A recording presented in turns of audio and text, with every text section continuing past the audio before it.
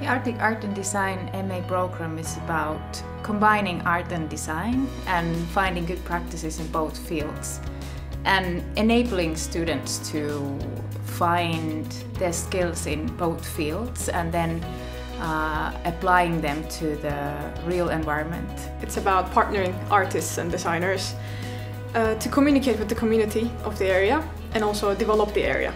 We focus on bringing the art and design, especially in the northern region. So, thinking about the environment, the materials, the culture, the stories of people, communities, and different uh, enterprises.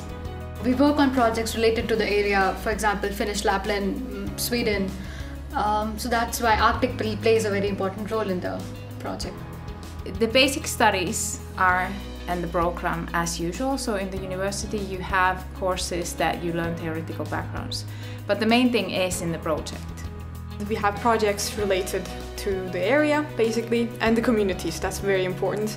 We connect to the locals and um, we also do projects in the university and outside of the university. Yeah.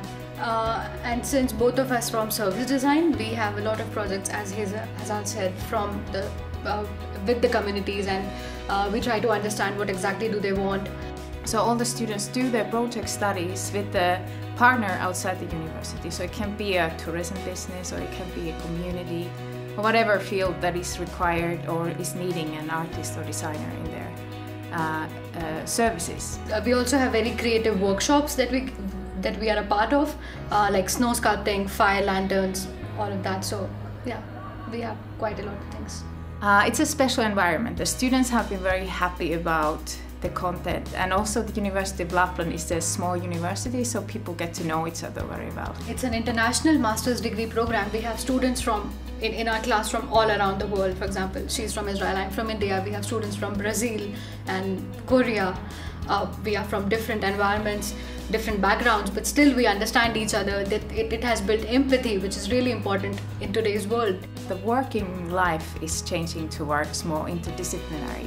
So you need to uh, master skills outside your main focus. So you probably you can be an artist or you can be a designer but your artistic and design skills are also required. We are introduced to the idea that there are complex problems in the world and we are able to solve them so we might not be superheroes, but we are close.